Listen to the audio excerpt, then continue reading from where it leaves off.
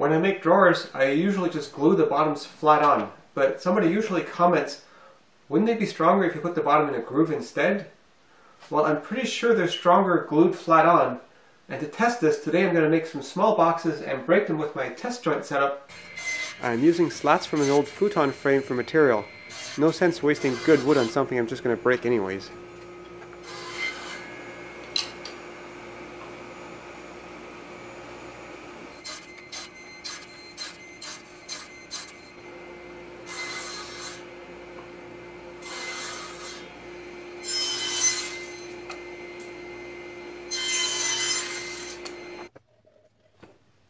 Now it's time to put together the boxes. I'm going to glue the bottom into the groove on one, but not on the other.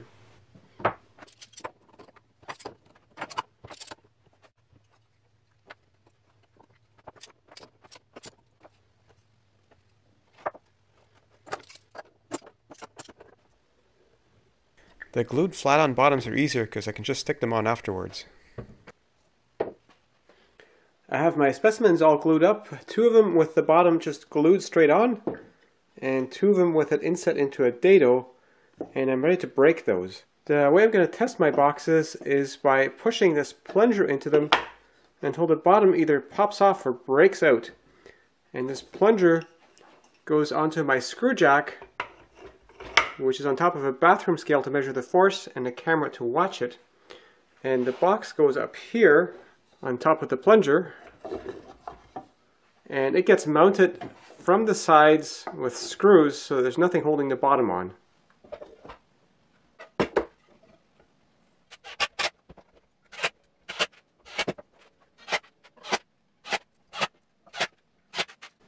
First specimen and this one is with the bottom just in a rabbet, no glue. 40, 60, 70, 80, 90, 100, 120, 130, 140, 150, 160, 170, 180, 190, 200. That's pretty strong.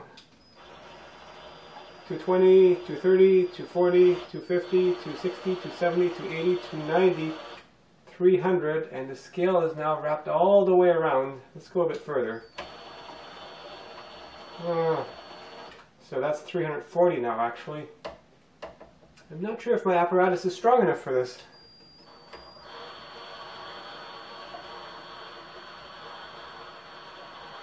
That's 400 pounds now.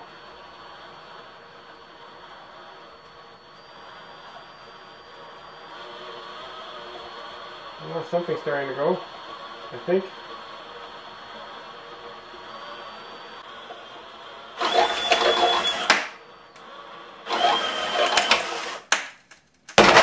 Whoa! Well, that box was stronger than I thought it was. Uh, the bottom popped straight off of it, not surprising. Um, I'm not sure if I can trust my numbers though because the scale is just a little bit bent. Hmm. I did load it with 450 pounds. I guess it wasn't made for that.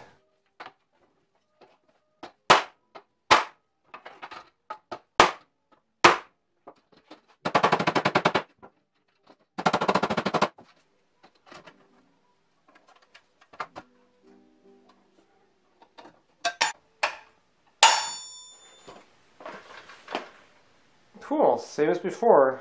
So that 450 pound reading was probably bogus because as the top here buckled, it started hitting this part here, and so the scale, even though I got more force, just wouldn't read anymore.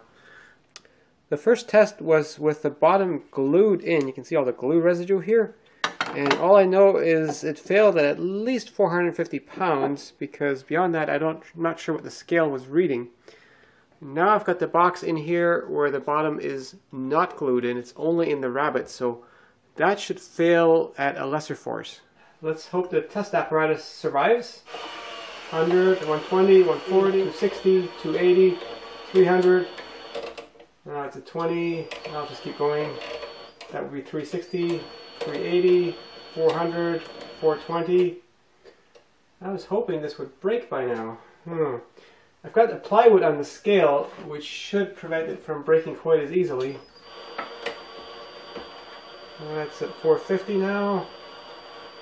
And I think the scale is, yeah, the scale is bottomed out. Hmm. Now what do I do? I've upgraded my test setup and now it has a lever with a 5 to 1 mechanical advantage. So for every 500 pounds that gets pushed on here, this lever will push only 100 pounds on the scale. So hopefully I won't re-break my scale and break the specimen instead. Now this time the readings are actually 5 times. So that would be 100 pounds now actually. And that would be 400 pounds.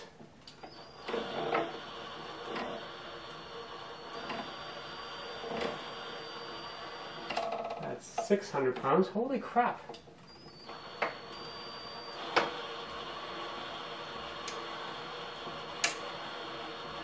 Uh-oh. Whoa! Alright, this is a specimen where the plywood bottom is just glued flat on the bottom as opposed to being put into a dado. And people always think those are not as strong, so let's see how that one does.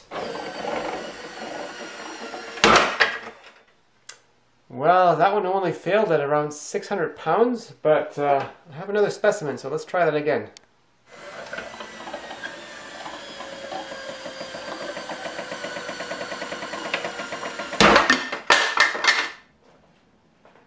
So this one too failed at just 600 pounds, so I guess the drawer bottoms really do hold better if they're put in a groove. So it took 600 pounds to pop the bottom off of this little box.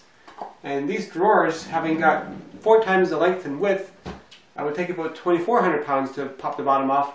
And that is about 1.1 tons metric. So if I filled this drawer with solid lead, that would only weigh about 200 kilograms, so only one-fifth of what it takes to pop the bottom off. And the drawer slides I used, those are rated for 25 kilograms, so I don't think the bottom is a limiting factor. Now one reason you want to put the bottom in a dado is so that the drawer will actually slide not on the bottom but on its side. But here's how I solved that for this drawer. I used whatever scrap plywood I had, this was painted, and then I just scraped the paint off the edges and glued on a strip of maple which is much harder and slides much better than the spruce that I actually used for the drawer sides.